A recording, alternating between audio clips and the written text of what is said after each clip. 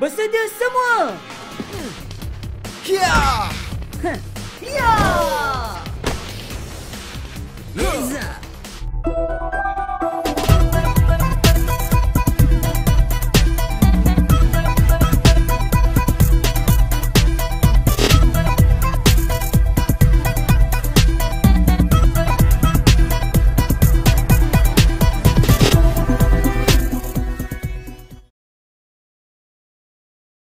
Selamat hari jadi.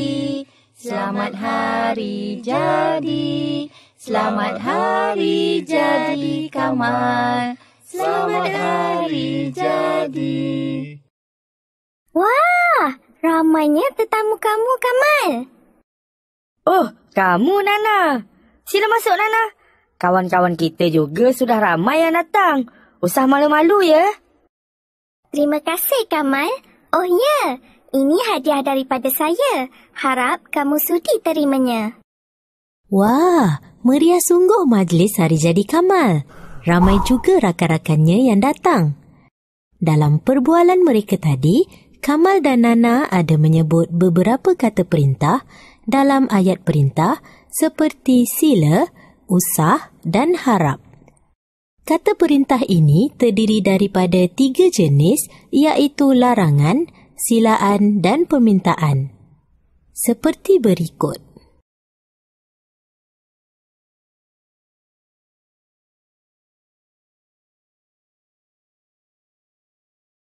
Nak tahu bagaimana setiap perkataan kata perintah ini digunakan dalam ayat perintah? Jom kita teruskan belajar.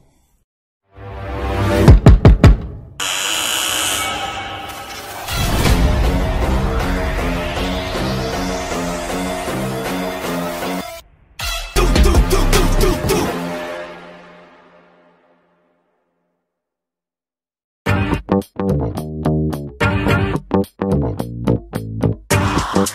you.